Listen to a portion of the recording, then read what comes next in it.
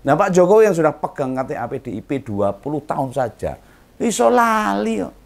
Lupa diri. Apalagi kayak Gibran Bobi yang baru tiga tahun jadi kader. Tiga elit politik itu bisa jadi contoh kegagalan penanaman ideologi partai. Bagaimana partai politik untuk menguatkan ideologinya? Ada ART-nya dan sebagainya. Dan semua ini mesti kita lawan.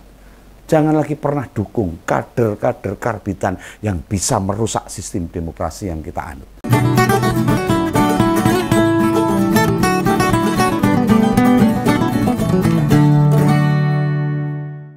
Begawan itu ngira ini, mengira ini bagi-bagi jabatan bagi orang-orang terdekat ini wis rampung, udah selesai, wis dijatah. Entah itu relawan, entah itu yang ngewangi, entah itu keluarga dekat atau kerabat dan sebagainya. Bagi-bagi jabatan berikutnya hanya untuk partai politik. Dan itu bakal dijalankan waktu pergantian kabinet atau saat pilkada besok November. Jebulnya. Ternyata ini. Apa yang saya perkirakan tuh luput.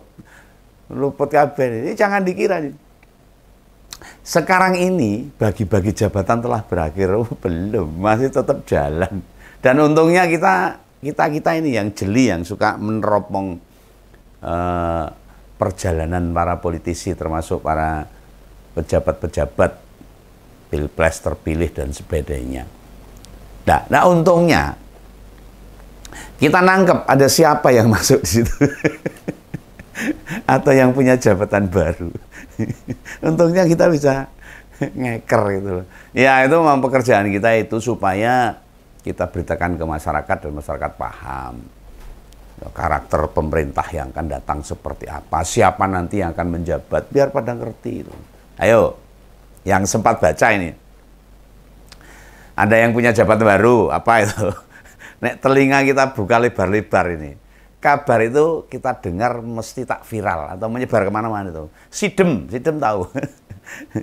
sangat sangat uh, tidak diberitakan, tidak gemuruh, tidak heboh. Ini sempat keluar, sempat didengar oleh oleh publik ini.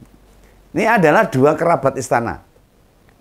Nah, harus tahu nih yang memegang tampuk jabatan strategis di BUMN. Aduh ini timah urung rampung, emas juga dikerampok. Ngeri itu timah dua tiga ratus triliun masih satu songo ton. satu sembilan ton emas, aduh remuk ini. Nah yang pertama yang dapat jabatan itu adalah Bagaskara Ikhlas Sulia. Itu anak dari Ibu Titik Relawati itu adik kandung Pak Jokowi. Mas Ikhlas ini ditunjuk jadi manajer non government relation di Pertamina sana. Masuk ke Pertamina tahun 2021 dari jalur profesional. Ya katanya sih sesuai kebutuhan dan memenuhi syarat katanya. Mestinya kebutuhan Pertamina iya kebutuhannya. Bukan kebutuhan keluarga istana Nah, ini Om Begawan cuma menegaskan ini. Jabatan itu ngurusi urusan luar Pertamina, tapi yang di luar pemerintah. Tahu kan? Kan Pertamina itu punya banyak kilang di berbagai wilayah itu. Pasti berurusan sama Pemda, Pemprov, Kementerian BUMN, Kementerian ESDM dan sebagainya. Itu tidak diurusi sama Mas Ikhlas. Eh, ya keretnya otomatis biar tidak ada konflik of interest, gitu. benturan kepentingan. Lah ya Pemda sama Pemprov atau kementerian mana yang berani ngademin ponakan Pak Jokowi kalau dia didudukkan di sini. Nanti malah ada apa-apa repot. Eh, ya ini yang jadi pertanyaan ini. Memangnya yang urusan di luar pemerintah, misalnya sama perusahaan distributor, layanan jasa apa gitulah, bisa bekerja profesional juga gak takut sama ponakan Pak Jokowi. ya harapan Begawan ya semoga tetap berjalan profesional. Nah nama kedua yang masuk dan masih ada ikatan keluarga dengan istana yakni menantunya Pak Anwar Usman. Om masih ingat kan Paman Usman? Ya toh, ayo. Lupa ini. yang ngobrol-ngobrol MK. Adik iparnya Pak Jokowi yang pernah jadi ketua MK dan wis mantu Nah, mantunya ini bernama Joko Priambodo yang sekarang menjabat Direktur Pemasaran dan Operasi PT Patra Logistik. PT Patra Logistik ini anak perusahaan dari Pertamina. Pokoknya Pertamina ya apa dicokal. Enggak apa-apa. Masyarakat jadi penonton aja ya. Dan yang sebelah jogetin aja. Sambil ngomong oke gas, oke gas itu ya. Enggak apa-apa. Nah masuknya nama Mas Joko berdasarkan penunjukan. Ditunjuk, penak banget. Ora apa-apa, nggak apa-apa keluarga istana. Dan diklaim sudah sesuai ketentuan yang berlaku. Kebetulan dia sudah bekerja di Pertamina sejak tahun 2016. Sudah 8 tahun lalu lah ya. Dianggap berpengalaman lah. Katanya track recordnya baik. Di Pertamina, Pertamina sendiri sempat menempati beberapa jabatan Misalnya sebagai stakeholder relation management pernah. Board of Director Office ya pernah. Sales Bank Manager di Jogja serta Batam ya pernah. Oh ini Om Begawan baca ini. Wah ini Om Begawan ya orang nyalah, nggak menyalahkan. Penunjukan ini terkait pilpres kemarin orang menyalahkan. Kan banyak pihak menyebut toh, pencapresan Gibran berjalan sukses dan berhasil menang Bila ada yang mengaitkan dengan itu, ya terserah pandangan orang lain, tidak apa-apa. Aku ini sopo bisa melarang-larang pikiran orang. Silahkan berpendapat. Kita ini kan negara dengan aturan dan tata kelola yang sejak reformasi berjalan dengan baik. Demokrasi berjalan dengan sehat. Nek konstitusi berjalan dengan amburadul. ya karena itu tadi MKMA. Nah, pembicaraan tentang nepotisme akhir-akhir ini makin kencang. Tapi anehnya, pihak-pihak yang berkuasa malah seperti menyengaja, sengojo, jarak, makin ngelunjak itu loh. Entah kita sebagai rakyat dianggap apa. Apakah kita ini buta, bodoh, tuli, goblok, kita tidak bisa bicara, kita sudah makin diremehkan. Kalau yang sebelah ya enggak apa-apa, yang sebelah itu biasa diremehkan. Kalau kita nggak bisa, kita harus melawan. Kita harus jadi masyarakat yang cerdas, yang rasional.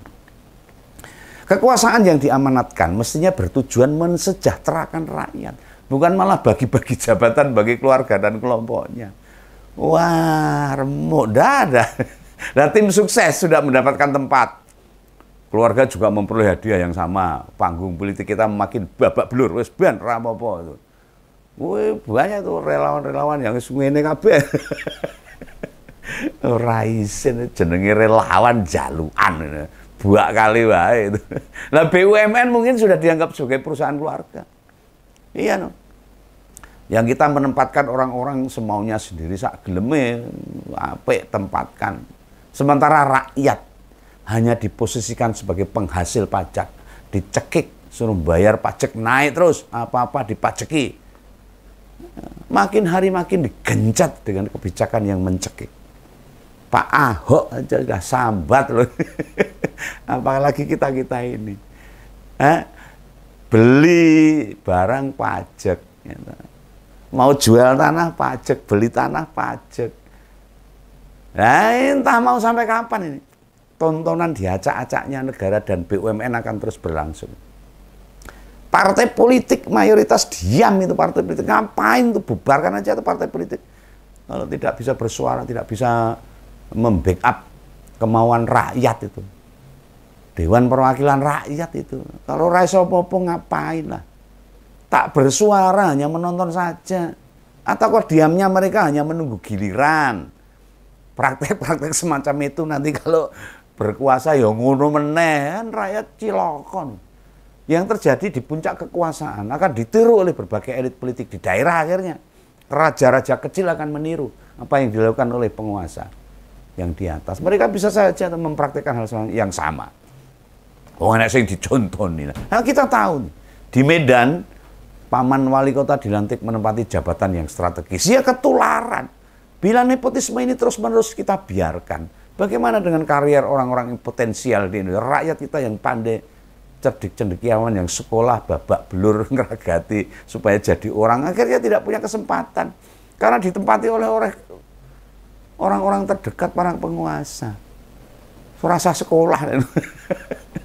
Dan yang menekuni pekerjaan, karirnya di teliti titi dari bawah akhirnya nggak bisa apa-apa. Belasan bahkan puluhan tahun akan patah dengan orang-orangnya para pejabat. Iya atau tidak? Masyarakat harus paham ini. Kenapa pada diam? Kenapa mahasiswa sekarang juga diam? Nggak bersuara kenapa politisi tidak ngomong kenapa partai politik juga tidak bergerak ngapain aja ini gemes ya bagaimana nah seandainya kita mau sebentar mengingat sudah lama Pak Jokowi tidak bicara tentang nepotisme. Bahkan majunya Gibran saat Pilwali yang di Solo dulu tahun 2019 2020 disebutnya bukan nepotisme karena yang milih rakyat katanya. Tiru-tiru begawan ngomong. nepotisme itu bukan di soal pilihan rakyat. Melainkan menempati posisi strategis hanya karena keluarga istana. Nah di sisi lain Pak Jokowi memberi banyak kesempatan pada kepolisian menempati jabatan-jabatan di pemerintahan. Nah ini akhirnya kembali lagi Orde Baru tuh. Demi fungsi ABRI akhirnya. Ya kayaknya ada kecenderungan nih, polisi makin mewarnai pemerintah. Ya kita ingatlah sebelum ada Pak Budi Waseso, Pak Budi Gunawan, dengan jabatan mentereng ini. Dan gini Pak Kapolda Jateng, Pak Irjen Ahmad Lufi, digadang-gadang akan segera menempati posisi barunya sebagai Inspektorat Jenderal Kementerian Perdagangan. Ya semacam pengawas internal kementerian. Nah kita bisanya apa? Bisanya hanya memberikan kritikan. Memberikan pendapat supaya masyarakat juga ngerti. Gitu loh. Biar cerdas lah. Lalu masih ada itu Komjen Setio Budianto yang sudah duluan dilantik jadi Irjen di Kementerian Pertanian. Itu. Masih ada juga Irjen Risya Pudin Nursin yang kini menjabat Dirjen Perhubungan Darat di Kementerian Perhubungan. Ini membayangkan ini banyak aparat yang masuk pemerintah. Bagi berkawan ya akhirnya ngomong. Seperti zaman baru lagi nih. Dulu orang yang berlatar belakang militer, baik polisi atau TNI, bila sudah bintang dua akan menempati jabatan penting, entah gubernur, entah menteri, entah kepala lembaga dan lain sebagainya. Lah di masa sekarang, nepotisme juga kembali jadi hal yang biasa. Rusak demokrasi Indonesia. Lah bila tidak percaya, nanti pada minggu kedua Agustus, kita tunggu aja. Akan tersebar beberapa anak-anak keluarga politisi, anak menteri atau pejabat lainnya, berbondong-bondong mendaftar jadi calon kepala daerah. Titenono. Mereka akan menyingkirkan orang-orang yang sejak awal sudah jadi kader partai, sudah bersusah payah membangun kemampuan politiknya. Mereka akan dengan mudah disingkirkan oleh oleh orang-orang yang dekat dengan pejabat, dengan penguasa dan sebagainya. Mereka akan dengan mudah disingkirkan oleh orang-orang dekat para penguasa. Partai politik terlihat tidak berdaya. Partai politik lumpuh. mana mana ini? Surasa partai politik lah. Ya manut aja dengan para pemilik kekuasaan. Siapa yang mau dijagokan? Makanya bagi Om Begawan Pilkada November nanti mestinya jadi titik balik perlawanan. Partai politik harus menyatu, harus saling menguatkan. Ojo malah saling ngantemi kancane. Partai politik itu dilahirkan untuk menyatukan pendapat untuk mensejahterakan rakyat. Orang mau golek kekuasaan dewi-dewi akhirnya mata ini kancane dewi rakyat yang jadi korban. Akankah kita menyerah begitu saja? Ngikut pemilihan orang-orang yang dekat istana, mendukung orang-orang yang non kader partai. Ya orang sanggup partai wae. Atau malah artis-artis yang dipasang iso nyanyi, iso main sinetron, sugih dua di pejabat, remuk negara ini. Dan tanpa membudikan kader-kader partai politik. Ya kalau artis masuk partai politik sedula itu bisa dimaknai, bisa dimaklum. Malah ini ujuk-ujuk. Justru kandidat-kandidat non partai bila benar-benar jadi diusung mentontonkan bahwa terjadi kegagalan pengkaderan. Nah pilkada besok ini, mari sama-sama gelorakan. Tolak kandidat kepala daerah non kader partai. Berani nggak partai politik? Berani nggak kader-kader partai politik itu? Aja mung duit tok sing diurusi, sithik-sithik duit. Akhirnya partai politik jadi lemah, lumpuh dan lelah gitu loh. Nah Pak Jokowi yang sudah pegang KTA PDIP 20 tahun saja, iso lali kok. Lupa diri. Apalagi kayak Gibran Bobi yang baru tiga tahun jadi kader. tiga elit politik itu bisa jadi contoh kegagalan penanaman ideologi partai. Bagaimana partai politik untuk menguatkan ideologinya? Ada ART-nya dan sebagainya. Dan semua ini mesti kita lawan. Jangan lagi pernah dukung kader-kader karbitan yang bisa merusak sistem demokrasi yang kita anut.